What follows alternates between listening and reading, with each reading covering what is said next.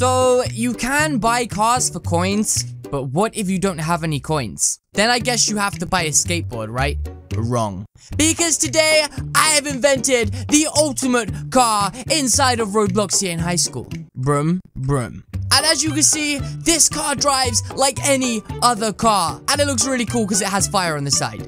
Everybody wants a car with fire on the side. So, guys, strap on your seatbelts because this is about to be a bumpy ride. And let's flippin' do this. This is the finished result that we are going for, guys. And believe me when I say this is the easiest tutorial so far. Like, this is so easy. So let's get straight into this one. I reckon we could do this in like two or three minutes flat.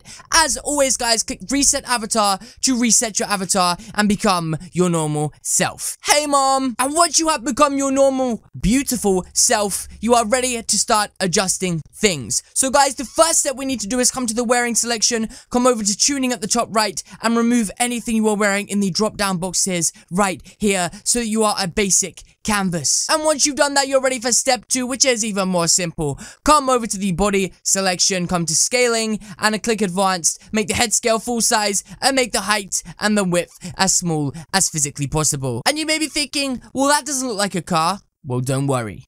We're nearly there. The next thing to do is come over to the head selection and click the empty box right here, which is called the headless head. Again, guys, search it if you need to, and it will remove your head and make it invisible just like that. And as you can see, now I have no head. Following that, you need to come to the right arm and search woman, equip it for the right arm and the left arm just like that. Then come to torso and equip it for that. So you've done it for the right arm, the left arm, and also the torso, which rhymes. And now finally come over to the right legs and uh, simply just search core blocks. Just like that, KOR blocks. And you will see this weird little stump leg thing. Make sure you equip it the core blocks deaf speaker right leg and do it also for the left leg, which is this one right here. Now once you look like this, guys, there's only one thing left to do under the body selection and that is shake your body about. So once you're done in the body selection, click body and come to animations, which is uh, this one right here. And then what you want to do is equip the werewolf animation just just like that. You can also equip the ninja,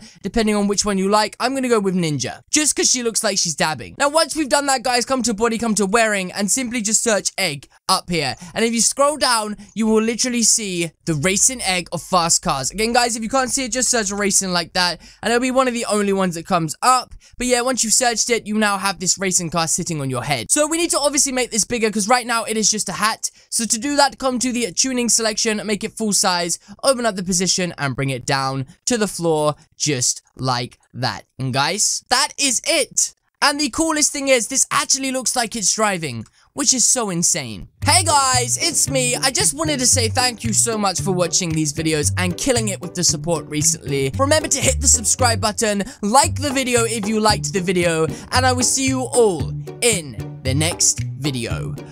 Bye!